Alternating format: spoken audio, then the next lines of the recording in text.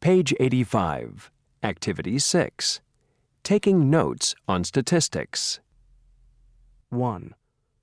According to the United States government, approximately 2.5 million manufacturing jobs have disappeared just since the year 2001.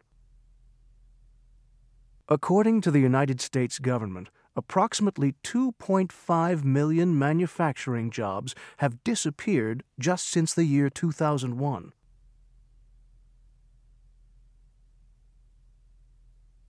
Two. At the same time that the number of manufacturing jobs is decreasing, the number of service jobs is probably going to grow by more than 20 million just in the next 10 years. At the same time that the number of manufacturing jobs is decreasing, the number of service jobs is probably going to grow by more than 20 million just in the next 10 years.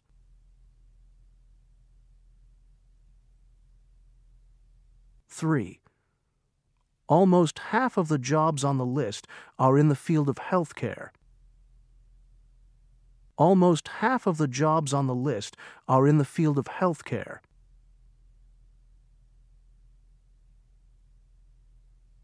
4.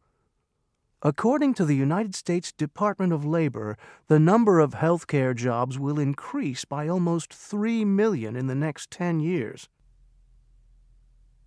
According to the United States Department of Labor, the number of healthcare jobs will increase by almost 3 million in the next 10 years.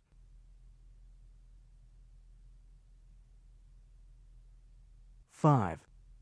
The number of jobs in the computer industry is expected to grow by almost 30% in the next 10 years.